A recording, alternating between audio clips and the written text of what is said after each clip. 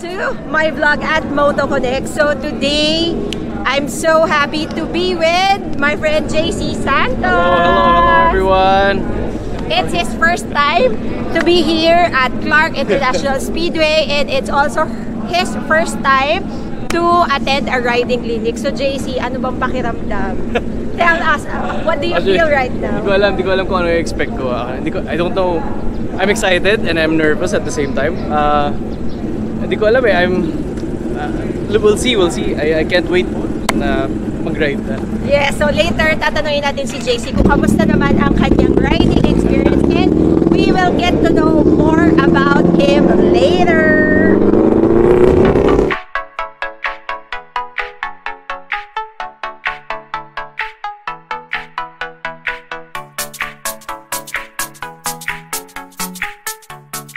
move, be predictable. Yep. You don't once you hear the bikes behind you, mm-hmm. don't do sudden movement because Yeah. they know how to overtake. Yeah. Push agad mo slide. It's called sliding from sliding ng left side ha, left side and right. Slide. Yun. Automatic ka puporma. And your head, automatic dito. This is how you do it. You don't look at there. You look at there. That's A pass B concept. Then tuloy-tuloy ka. And then slowly, you gas up, open, and then you get back. Tama?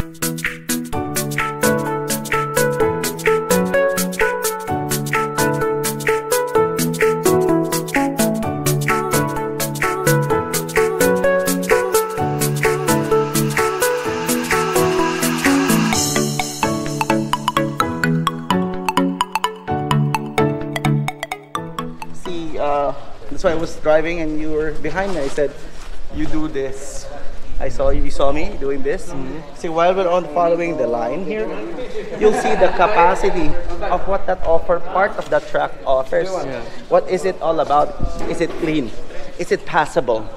Is uh, can we go through this track again if I need to? Yes.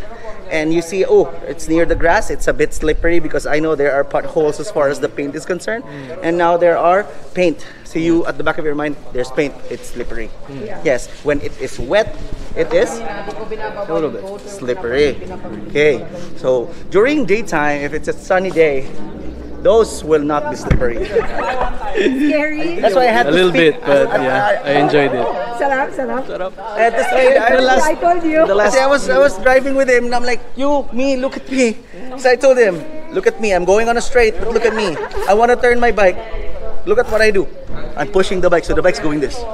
So if it's doing like this, meaning you can simply just turn your bike and then he followed. Third lap, fourth lap, wala na.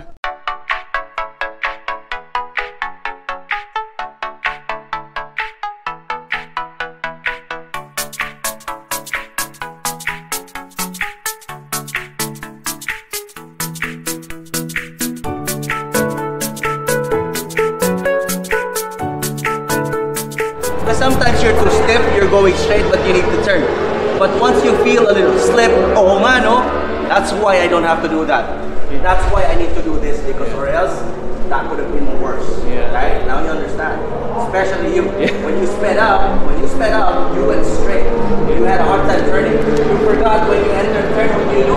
Close your throttle. You close your throttle, then you can turn the bike. You don't make brasso with the bike, okay? That's the rule.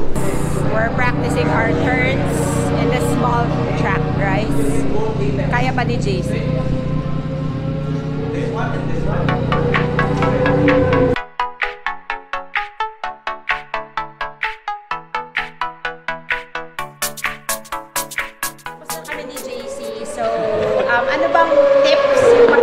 By the way, first time ni JC mag-try sa racetrack. So, um, ang dami niyang natutunan na na-share niya sa inyo guys later. Ah, na-share niya sa inyo kanina. So, ano bang tips mo sa mga newbie riders na gustong mag-try mag-big I time? think um, it's ano eh, parang kung meron kayong takot, I think uh, marami kasing katulad ko dati na natakot na motor. Correct. Tapos uh, it's it's ito yung pinakamagandang paraan para matanggal yung takot na yun, para mag-loosen up. Para at saka maiintindihan mo na, ah okay, this is, uh, riding a motorcycle is really fun. Oo. At uh, hindi naman kailangan mabilis ka kaagad eh. You get used to the speed.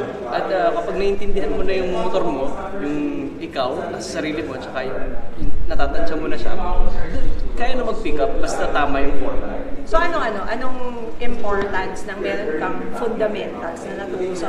Kasi si JC, before, prior to this uh, clinic, nagmumotor na talaga siya. He knows how to drive a manual motorcycle. But, yun nga, ano, mas marami kang ano yung ano, ano yung importance ng pag-riding clinic talaga? Ah, Marami ka bang yung mga feeling mo ba yung alam mo noon hindi pa pala sapat? Di yun ba? ano eh, na, nawala lahat ng parang iniisip ko na ganito pala mag-drive ng motor. Oo, meron yun. talagang tamang way, meron Correct. tamang technique, may tamang ah, ah, tamang galaw para sa lahat ng mag-drive ng motor. Tsaka may tamang way, Speed, Oo, tama. speed, tsaka tama yung, yung, yung mga kasama mo, Oo. pag, ah, pag-iisip mo sa mga kasama mo, sa, sa daan, tsaka yeah, it's, it, ano talaga siya eh, parang it's, it's really a good school. Uh, kailangan talagang matutunan siya. Correct, Sa correct. lahat ng mga gustong magmotorsiklo, tsaka ng mga nagmumotorsiklo na.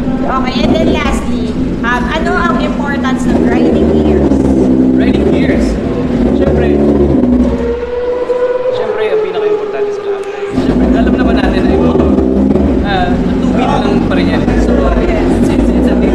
it's so much fun, pero you know, it, it could be dangerous. Pero kaya nga, kailangan natin protektahan yung sarili. Dahil kung wala yung mga protection, eh, kailangan, walang ma mahihirapan tayo ulit makagamit. Yes, ayan. So guys, we'll be seeing a lot more of JC Santos once he get his first bike. At aabangan ko yan kasi dapat kasama ako pagkuha niya ng first bike niya. Thank you guys! Follow him on Instagram.